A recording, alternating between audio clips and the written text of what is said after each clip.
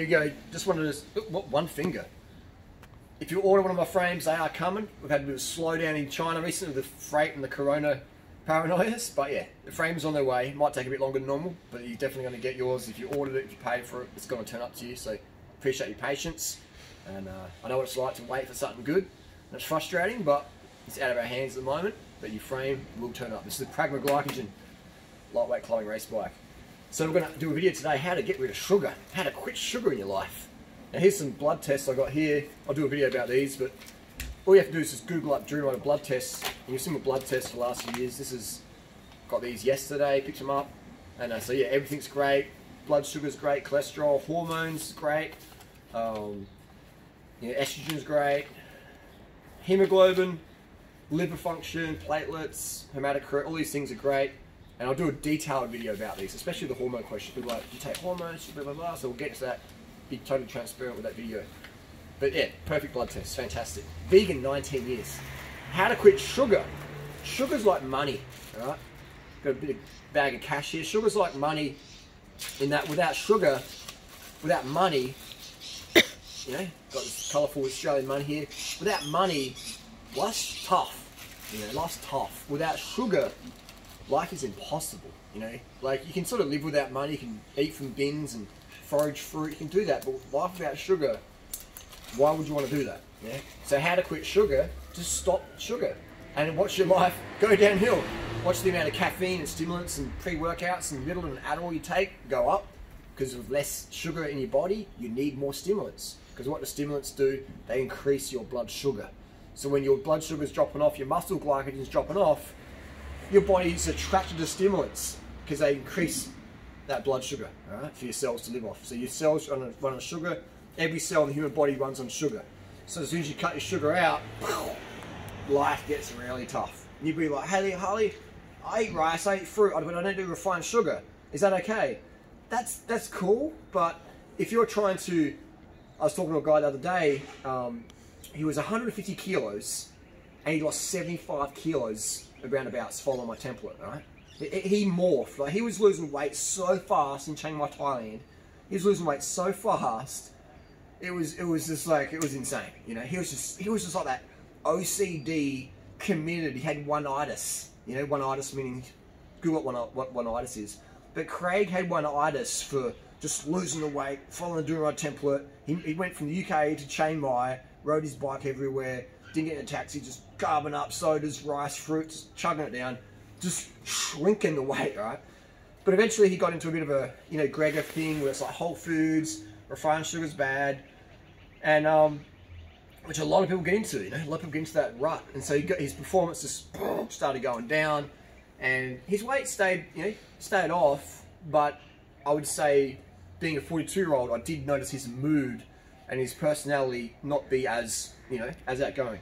And uh, so is there one thing I can add? Yeah, anything. Um, he he did say that he gained twenty pounds uh, during yeah. that time, and that he was dealing with binge eating, which I would say is down to not getting the refined sugars in. Yeah. So yeah, so he got a job. That's a good one. So, he's, but then he gained the weight back. You know, eating the Whole Foods, etc. What happened is he got a job as a Deliveroo rider. So you're riding his bike around delivering food, which is a fantastic job to do. And but he wasn't having any refined sugar. So if you're doing all those Ks and you're like, yeah, you're not having refined sugar, you're in this you know, sort of calorie restriction, almost a starvation set. Because we're not designed to ride a bike, you know, five, six, ten hours a day. You know, especially with not enough carbohydrate. So even though you might think you're getting enough carbs, if your brain's going, I need, I need some, I want some candies, I want some, you know, I want some sugar on that fruit. If your brain's thinking that and you deny it, then you're in a starvation zone. So then you'll get that post-starvation hyperphagia where you're just like, rah, rah, rah, you know, eating whatever. And you also get the, the post-starvation, uh, what are they calling it? The, uh, it's the hyperphagia, which is the appetite, and then the post-starvation obesity. Obesity, So when you will, cut- like the bikini girls get when they do a bikini competition, binge. yeah, taking the stimulants, taking the clenbuterol, purging, laxatives, diuretics, everything to get sucked down, glad wrapped skin for a day, and then as soon as the show's that finished that night, they're just like rah rah rah, and they get like they gain like ten kilos in a week, and their face becomes a pumpkin, and they go emotionally crazy. So we want to avoid that extreme hunger, right? If your body's saying, "Oh man, I'd love some peaches with a bit of sugar on top," mm, I love some sugar in my banana smoothie. Yeah, that would be so Or, or even I'd love some tinned peaches in syrup. Syrup, there you go. But I can't have that because it's got refined sugar in it. If you're that hungry, or you finish your rice meal at night time, and you're like, oh, I need something sweet, and you're like, oh, I'll have some blueberries, and you're still not satisfied, you're in starvation nation, right? So you're going to have this post-starvation hyperphagia where one day of the week or one day, what you just go, ah, stuff it, just go, rah, rah, rah," and then you blow it out again. So my program, it works like nothing else, all right? And it's not even my program. I've just studied animals and nature and people and coached thousands of people, and so I've actually learned from other people's mistakes, and it's just great to watch it, you know, come come around full circle. And so this Craig guy now he's you know he was doing faster training as well, and the faster training is the worst thing you can do. And the worst things he do. and he admits that now. yeah, that's great. That's he a sign admits of the maturity. mistake. Yeah, that's Yeah. that's really It is very good. that's a sign of maturity where you can go, you know what? Yeah, I did that. But And and it helps to educate others It does. on the dangers of faster Yeah. training and how it'll fuck you up. Yeah, it, that's that's very true, Natasha. Good reminder there. You know, and that's one thing. It's like I'm 42, and I do come across very arrogant and cocky and like, hey, hey, hey. But it comes from a place of experience and desire to help people. I don't like seeing people suffer. I don't like seeing people, you know, spend 15 grand on the bike when they can spend three grand or whatever. Like, I mean, if you do want to spend 15 grand, go ahead. I'm just saying that I, I don't like it seeing people suffer emotionally when they want to have some refined sugar, but they say, "Oh, Dr. Greger said I can't." Would you? Do you want to look like Dr. Greger and have Dr. Greger's results? No. I don't. You know, I wouldn't want to. Like, no.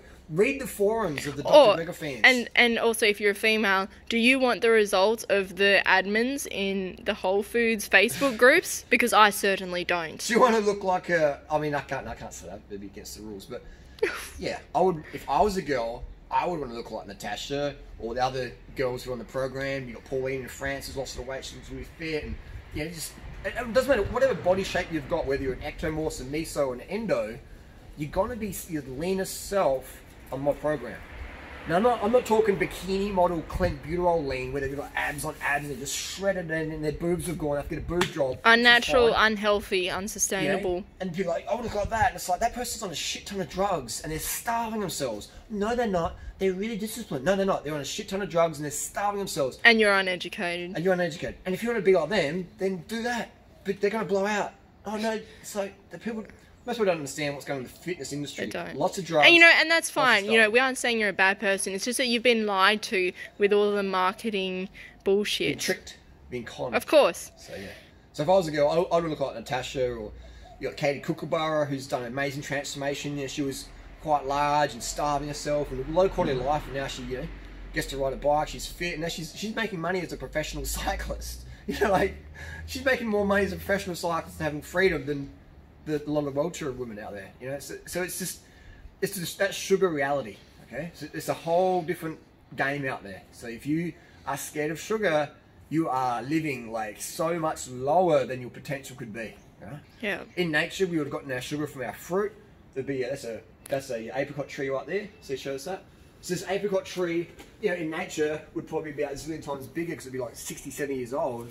And then when summer hits, the apricots are just dripping and they're super sweet, tree ripened, and you wouldn't need added sugar because there'd be so much sucrose in that fruit.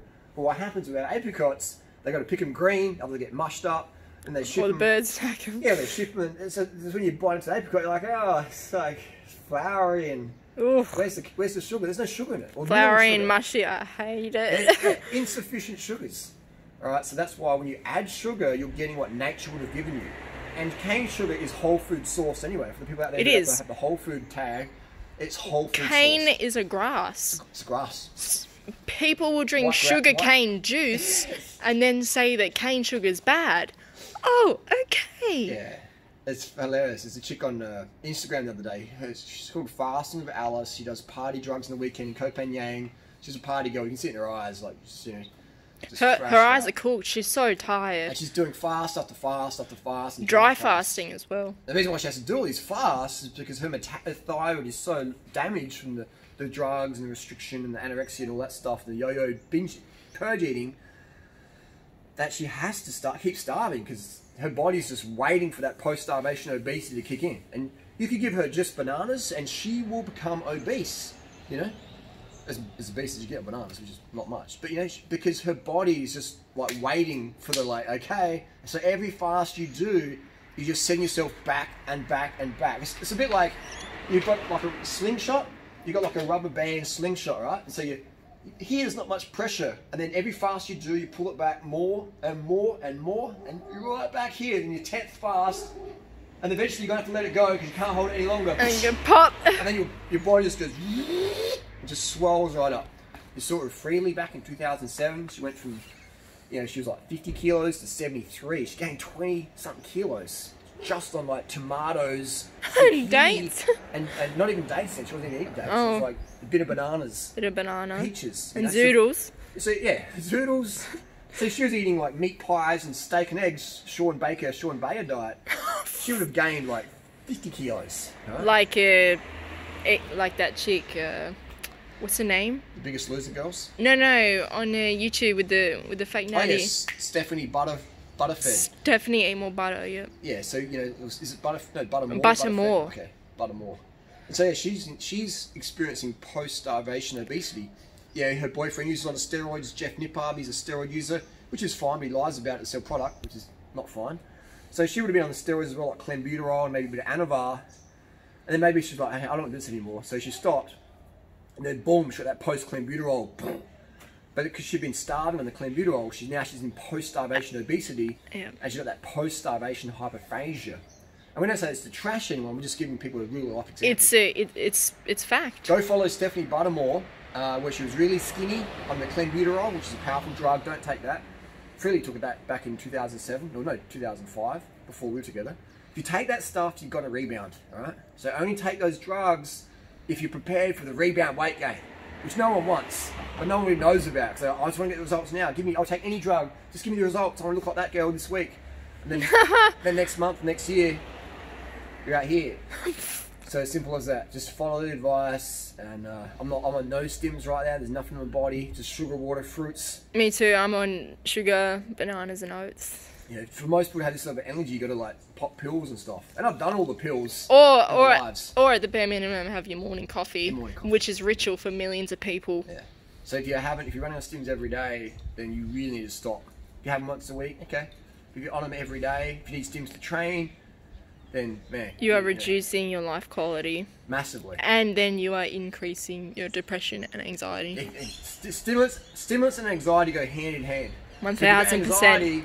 Pull out the stims, anxiety goes away. I don't know anybody with depression or anxiety that doesn't use stimulants. Especially depressed anxiety that hangs around. It's okay to if you have a bit of winter blues for a few hours. Oh yeah, yeah. I'm I, I'm talking months, years, You're waking up and going to bed with depression. That's lack of carbohydrate and coming down from stimulants. and stimulant usage. Hundred percent. And, and lack of carbs, lack of sugar goes hand in hand with uh, with that. And I, I know many cyclists. I've been racing for 22 years, and I've seen guys as lean and skinny as me become 120 kilo blubbers. Yep. you know, because they cut their carbs, cut their sugars. And and you know, there's nothing wrong with that. We're not attacking anybody. It's human physiology, and it's how it goes. Yeah. just attacking the, the methods people are using. Yes. I I don't want to see you suffer. I don't want more depressed people on the internet. Nah, nah, nah, nah, nah. I don't want that. I don't want more people driving cars because they're so tired they can't ride a bike or they can't pay attention behind the wheel. I don't want that. That's dangerous. I don't want more people doing crazy, violent attacks in the street or whatever. The guy attacked me in January. Do you think that guy's happy with his life? Do you think he's getting enough carbs? Do you think his hormones are in balance? No. You know, so I don't want that. I don't want it for anyone. I don't want it for that person either. Like, it's, it sucks to live a life of misery and aggression and hate. You, know, you can have a bit of banter and joke around. Well, that's cool, but Otherwise, it eats you up. yeah, if you're like living in that place of mad hate for someone and just constantly trolling people and creating fake accounts and just nasty stuff, then that's not coming from a place of hormonal balance or serotonin balance or dopamine balance. That's coming from a place of like self hate, really. And that self hate comes from when you don't have enough sugar in your br- in your br- in your br- in your brain. Then how can you like yourself because you feel crap? All right. So when you're feeling good, you like yourself more. And when you're feeling junk, you don't like yourself because like I don't really like. It's like when, like when a bike's not working properly. I don't like this bike. When the gears are clicking good, the brakes work perfect. There's no slop in the headset. You love the bike, but when it's breaking down and skipping gears and crashing you, you don't like it. So there you go. See you on the road.